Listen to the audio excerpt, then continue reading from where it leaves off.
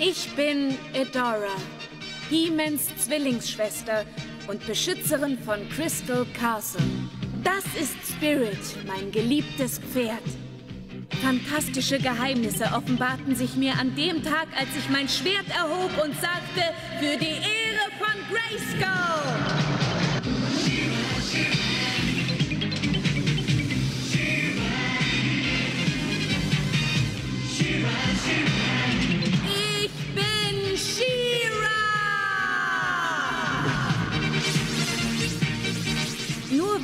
Teilten dieses Geheimnis. Zu ihnen zählten Lightope, Madame Rez und Cowl. Meine Freunde der großen Rebellion und ich versuchten mit vereinten Kräften, Etheria von den schrecklichen Mächten des Hordak zu befreien.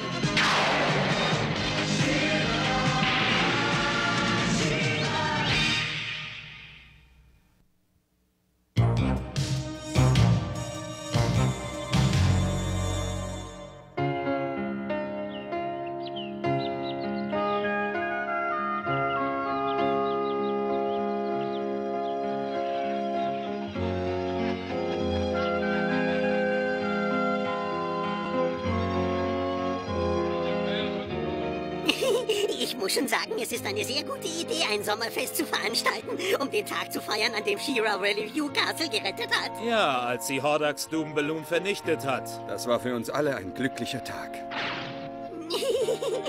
Und Review Castle muss nun niemand mehr die Zukunft vorhersagen.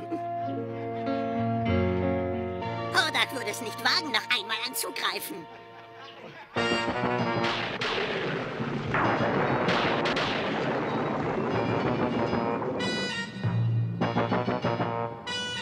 Da steht er nun. Ich nenne ihn den Zeitumwandler. Diese Maschine wird all eure Probleme mit den Rebellen für immer lösen.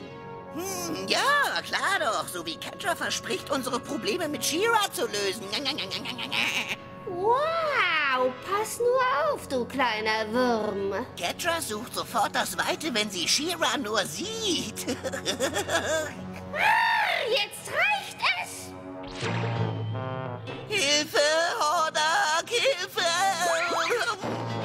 Jetzt! Ich hab dir schon mal gesagt, du sollst Imp nicht ärgern. Lass ihn gefälligst in Ruhe. Ah, ja, Meister.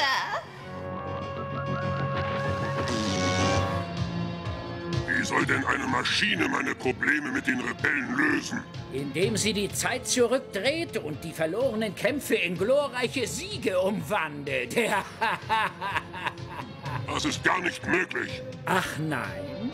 Passt auf, Meister Hordak. Ihr könnt euch doch sicher noch an den Tag erinnern, als ihr die Rebellen auf Valley View Castle mit eurem Doom Balloon angegriffen habt.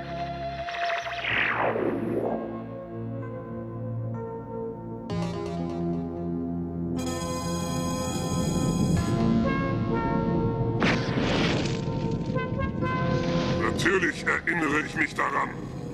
Der Doom Balloon war mit der Energie von tausend Blitzen geladen. Er war der beste Zerstörer, den ich je hatte.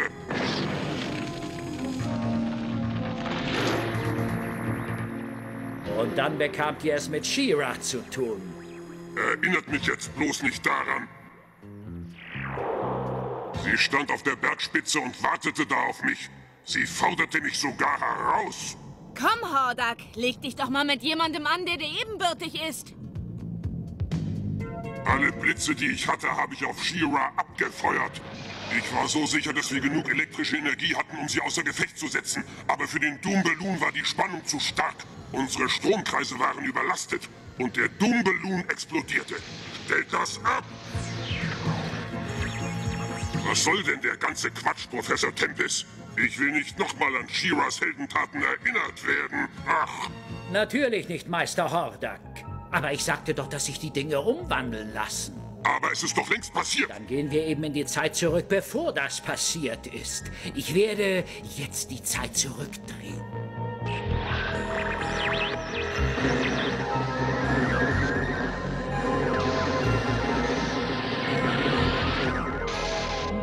Nun werden wir sie anhalten.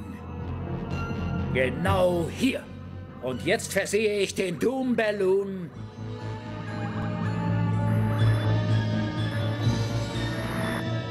mit einem weiteren Energiestrahler. So, nun wollen wir mal sehen, was Shira jetzt gegen den Doom Balloon ausrichten kann.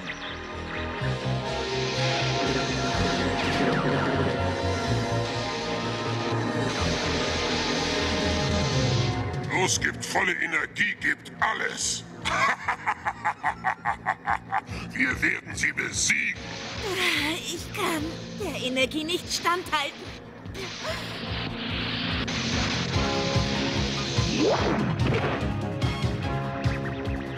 Valley View Castle ist jetzt endgültig in der Hand der Hordes. Seid ihr sicher? Absolut. Denn die Horde-Soldaten haben in diesem Moment das Schloss eingenommen. Oh mein Gott, sind da Horde-Soldaten? Wo kommen die denn plötzlich her? Wenn ihr Zweifel hegt, solltet ihr Kontakt zum Schloss herstellen und mit euren Soldaten sprechen. Gut, mach ich.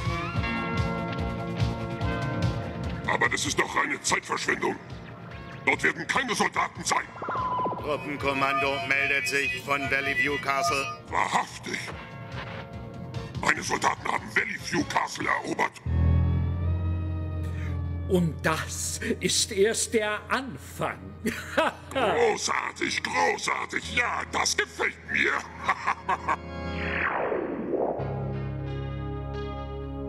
Sie waren plötzlich da. Überall Horde-Soldaten. Wo sind die denn hergekommen? Du meine Güte, Kaul. Wir müssen sofort Adora und die Rebellen alarmieren. Na komm, Broom.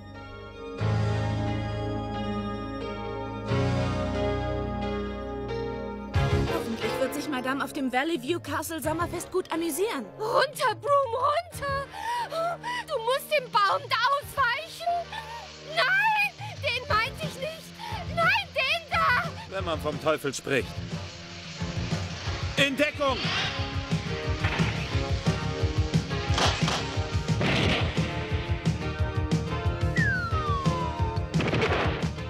Jemand muss die alte Eiche irgendwie verschoben haben. Habt ihr euch verletzt? Nichts passiert. Aber es gibt Probleme auf Valley View Castle. Die Horde-Soldaten sind da ganz plötzlich aufgetaucht. Was? Wie aus dem Nichts. Einfach so. Ja, da standen sie mitten im Schlosshof. Aber das ist doch nicht möglich. Als hätte man die geschichtlichen Ereignisse geändert. Du hast recht. Hordak führt wieder irgendwas im Schilde. Wir müssen der Schreckenszone wohl einen Besuch abstatten.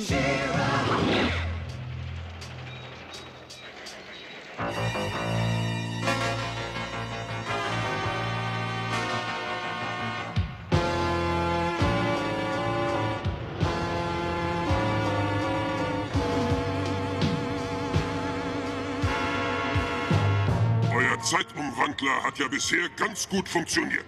Ja, er ist in der Zeit zurückgegangen und dadurch hat euer Doom Balloon Shira besiegen können. So weit, so gut. Und jetzt wollen wir ihn mal richtig testen. Ja, genau. Ihn jetzt mal richtig testen. Der Zeitumwandler soll mir helfen, Bright Moon zu zerstören. Ja, Bright Moon zu zerstören. Das sagte ich ja gerade. Oh, äh, äh, äh, ja, äh, das stimmt.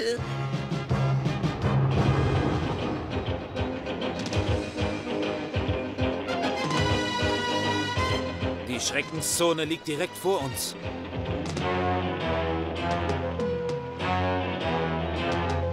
Es gibt hier einen geheimen Eingang. Ein alter Lüftungsschacht. Irgendwo muss er sein. Da ist er. Komm mit, Bo.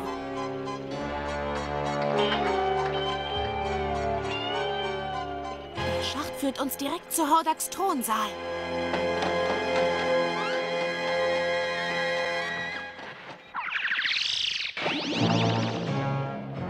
Wir sind gleich da. Wenn Shira dahinter kommt, was ich getan habe, wird es zu spät für sie sein.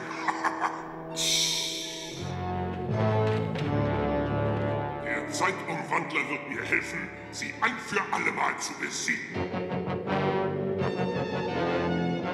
Und jetzt wird es Zeit, mit der endgültigen Zerstörung von Castle Brightmoon zu beginnen. Ähm, schaltet den Zeitumwandler ein. Schnell, Bo. Wir müssen sofort Hilfe holen. Hey, Verräterin Adora. Kommt mit.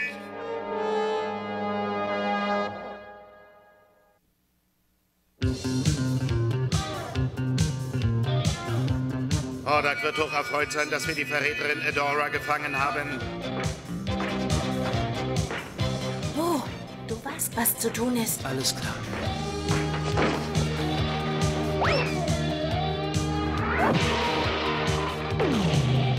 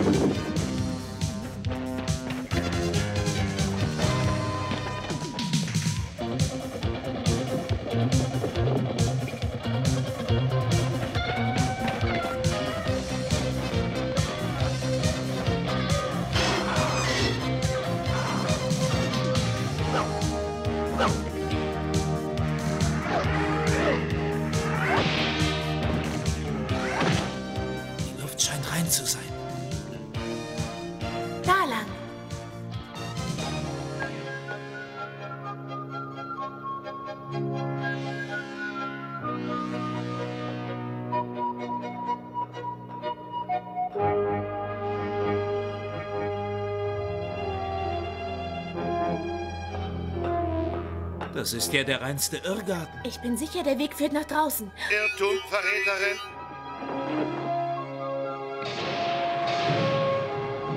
Bringt sie ihn zu Meister Hordak. Der Zeitumwandler ist gleich zum Einsatz bereit. Meister, Meister, wir haben die Verräterin Adora geschnappt. Heute muss mein Glückstag sein. Freu dich nur nicht zu früh, Hordak. Ach nein? Pass auf, wie meine Zeitmaschine euer wunderschönes Bright Moon zerstören wird. Für immer und ewig. An die Arbeit, Professor. Jetzt schaut zu, Adora, wie ich aus einer Niederlage einen Sieg mache. ich kann es kaum erwarten. Ja, Meister. Ihr erinnert euch sicher an den Tag, als Bright Moon sich nicht mehr verteidigen konnte. Ja, ich erinnere mich. Mein Mondfinsternisstrahl sollte gerade seine Energie auf Brighton abfeuern. Dann tauchte Shira auf, um die Mondfinsternis zu verhindern. Und ich konnte das Unternehmen vergessen. Schwert zur Kette!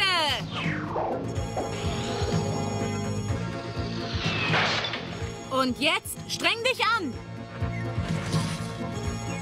Es muss uns einfach gelingen. Sieh so stark du kannst, Swifty. Sie dachte allen Ernstes, ihr verflixtes Einhorn könnte eine Mondfinsternis verhindern.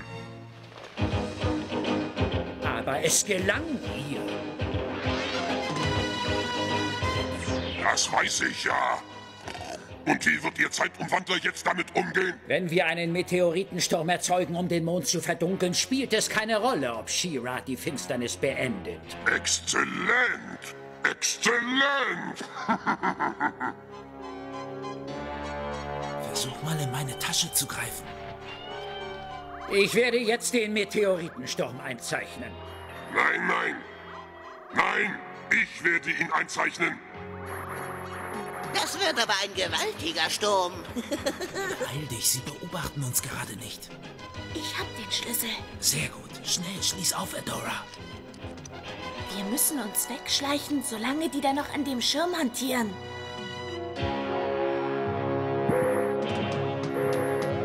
Sind die nicht herrlich? Und für alle Fälle, ein bisschen Niespulver dürfte uns bei der Flucht helfen. Können Roboter denn niesen? Wird sich gleich rausstellen. Halt dich bereit.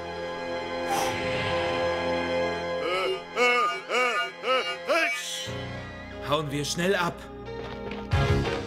Dummköpfe, Schrotthaufen, hört sofort auf zu niesen!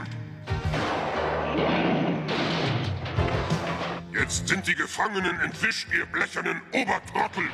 Fangt sie wieder ein, sonst müsst ihr die nächsten 100 Jahre als Staubsauger verbringen! Keine Sorge, Meister Hordak. Wenn der Zeitumwandler erstmal den Meteoritensturm ausgelöst hat, ist er durch nichts mehr aufzuhalten. Gut, dann löst ihn jetzt aus!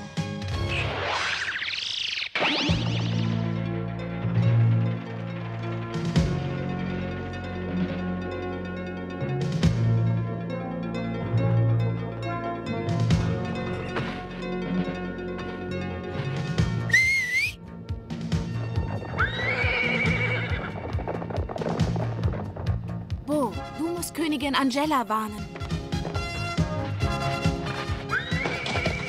Und was hast du vor? Ich werde versuchen, diese Maschine unschädlich zu machen. Gut, Adora, aber bitte sei vorsichtig. Keine Sorge, ich bin vorsichtig.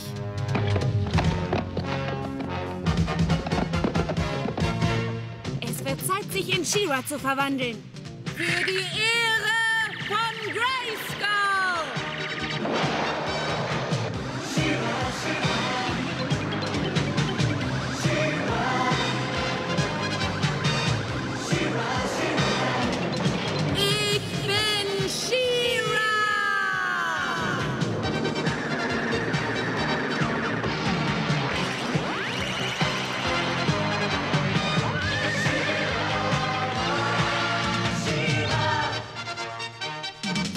Swifty.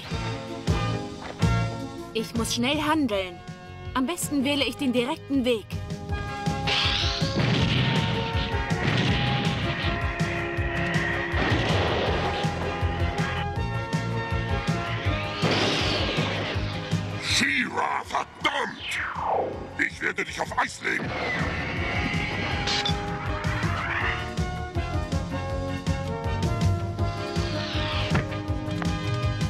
Zielst schlecht wie immer, Hordak. Willst du es nicht lieber nochmal versuchen?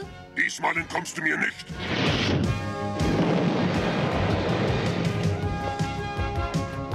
Ihr habt den genialen Zeitumwandler zerstört. Es war nicht meine Schuld. Sie hat mich reingelegt. Tut mir leid, Professor, aber ihr beide seid noch nicht reif genug, um mit so einem Spielzeug umzugehen. Ja. Oh.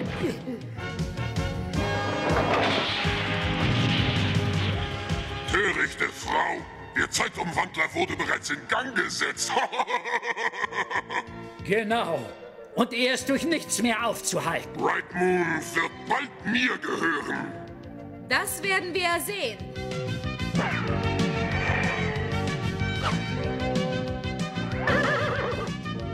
Jetzt verlange ich das Schwierigste, das ich je von dir verlangt habe, Swifty. Ich verspreche, mein Bestes zu geben. Worum geht es denn? Wir müssen jetzt beide versuchen, einen Meteoritensturm aufzuhalten. Und das wird uns nur gelingen, indem wir Etheria umkreisen gegen den Uhrzeigersinn. Mit hoher Geschwindigkeit. Dann lass es uns mal angehen. Schneller, Swifty, schneller! Noch schneller, Swiftwind! Komm! Los, Swifty, los! Schneller, schneller! Wir schaffen es! Wir schaffen es!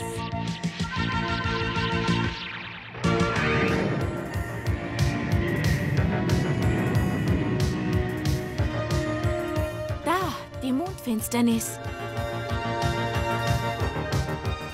Und da nähert sich schon der angekündigte Meteoritensturm. Wir müssen ihn aufhalten. Mal sehen, Swifty, ob wir das mit ein paar Schlagübungen schaffen. Schwert zu Schläger!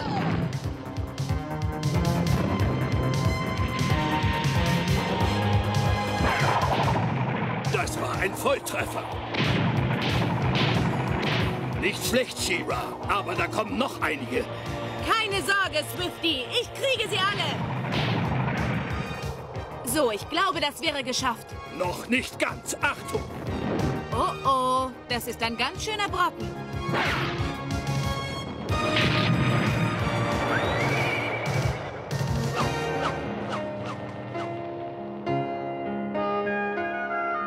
Hast es geschafft. Gratuliere, She-Ra. Ja, und der Zeitumwandler konnte auch nicht in die Geschichte eingreifen. Bright Moon wird jetzt vor Hordak sicher sein. Na los, Swifty, fliegen wir wieder nach Hause.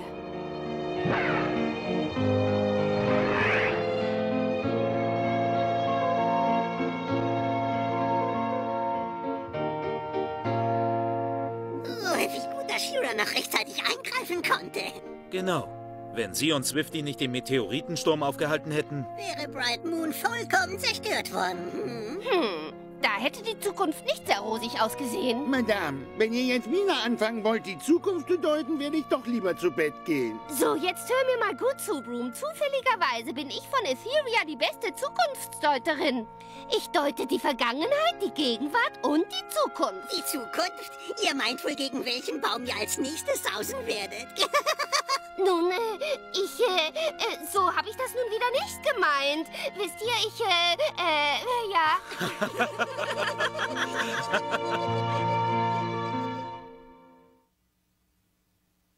Hallo, hier ist wieder euer Loki. Habt ihr gesehen, wo ich mich heute versteckt hatte? Wenn nicht, schaut noch mal genauer hin. Seht ihr mich? Hier bin ich!